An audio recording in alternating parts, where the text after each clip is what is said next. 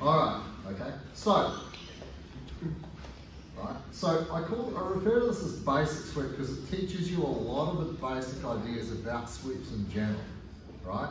And the person is on all fours, right? Not literally, but they have four points of base: their hands and their feet or knees, right?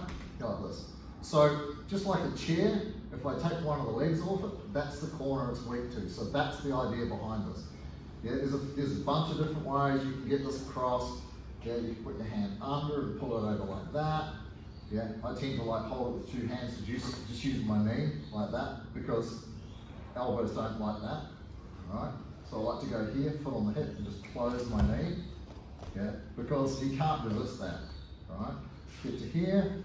I'm bringing him forwards, right? So the arm, the side I took the arm from is the side I want his head going to. Yeah, right? So move your head and use your legs to steer him that side. Don't have his head over here. Have his head over this side, like that.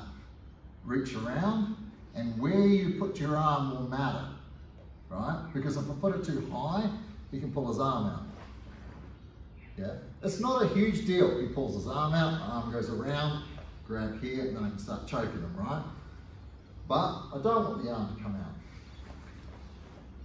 So I go across the shoulder, here like this, right? So my left hand's still holding the cup, right hand gets the armpit, everything's nice and tight, knees it, then let go, see if you can pull his arm out. That's where you want it, yeah? Sometimes the sweep does get taught by holding onto the hand and doing like that. Mm, you can do it, I'm not a fan of it, all right?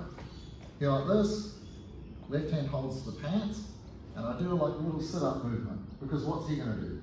Starts pushing me back down, so as he pushes me down, drop my leg, that's gonna take out his knee, toes pointed. When I get here, this is where most people mess it up, they go to their knees, and then he makes a frame, and then he can escape, right? So what we want is sweep him halfway or three quarters of the way. So I get through here, armpit, knees, sweep, stop. You either foot down, push your chest into his arm to hold it there. Now I can pass this to my hand, get the elbow, and go technical mount. Yeah?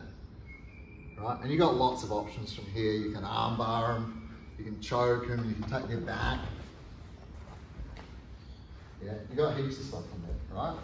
But this sweep is really good. And anytime you can get their arm across the body, so maybe you do make the mistake of pushing this whole body that way, no big deal, still stay the same. Change your feet and start heading towards the back. Yeah? Alright, so arm across the body is really super good. Again, you can hold like this, hand goes under, break the grip, pass it across that way, that's quite popular. I like to hold on here and use my knee. Armpit, close, get this knee like this, I sit up into it, there, just to get that reaction. Ballerina foot. Stop. Pass. Elbow. Knee. Turn on the side. Body three.